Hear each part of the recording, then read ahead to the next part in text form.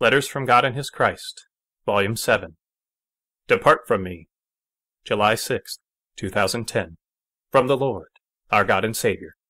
The word of the Lord spoken to Timothy, for all those who have ears to hear. Thus says the Lord My people have forsaken me. The churches of men have departed from me.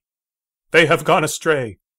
They have been drawn far asunder polluting my name without ceasing.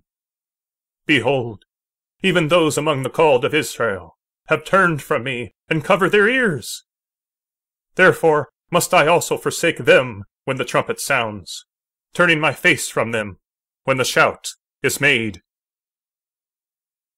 Behold, I have sent my messengers to every land, one from every nation, each being sent to the people of their own land even from the midst of them. Yet I hear no answer. No wailing has entered my ears. Not one has come out in mourning. I hear no repentance at all.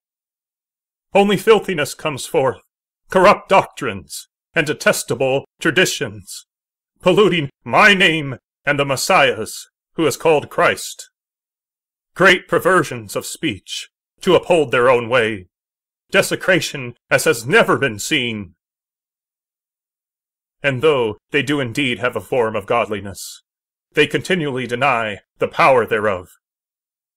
The churches of men are unclean. Every synagogue is void and desolate. My people have forgotten me. Neither do I dwell among them. My spirit is far removed. Therefore, the desolate shall receive the reward of their error, and the heathen the penalty of their idolatries behold the churches of men shall also receive recompense for every act of adultery which they have committed before my face. Yes, according to every filthy act which they have performed in my name shall it be accounted to them. Desolute children, why do you rend the heart of God, and fill the Holy One with tears and heavy sorrows? Am I not your God? Did I not purchase you at a great price? When did I withhold my heart from you? At what moment did I turn back, or stop to consider if you would receive me, when I delivered myself up for you, pouring out my love in rivers of blood? Beloved, I poured out my life so you may partake of me fully, that you may receive of my life.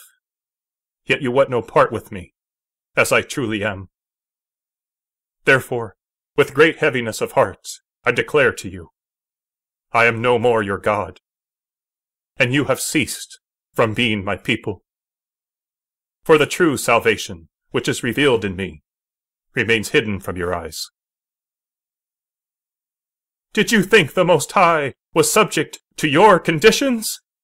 Did you think the Holy One of Israel could be transformed into an image more to your liking?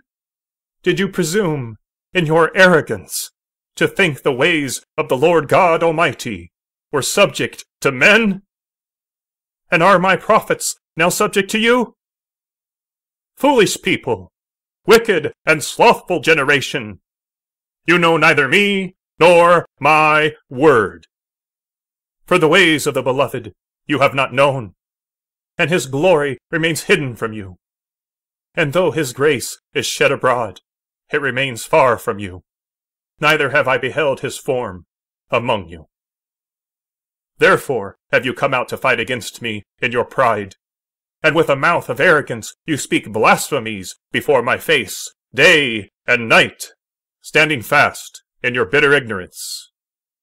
And so I have called for a witness against you, says the Lord of power and glory, he who was, and is, and shall be, the everlasting, who is from everlasting to everlasting. Amen. Thus says the Lord, whose name is one, to his people who are not his people.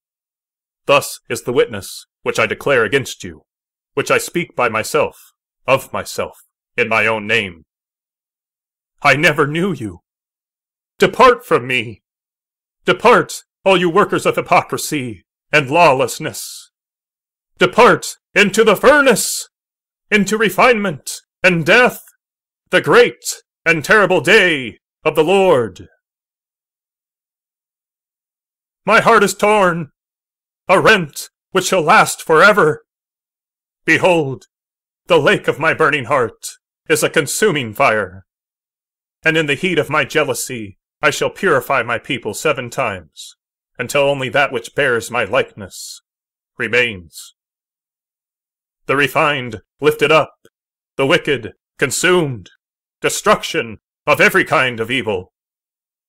For I am the Lord, who was and is, even from the beginning, and to the end and forever after, I remain. Therefore, thus declares the Lord to all peoples of the earth, There shall not be another generation which shall grow up out of the kingdoms of men, for the kingdoms of men are finished, never to rise again.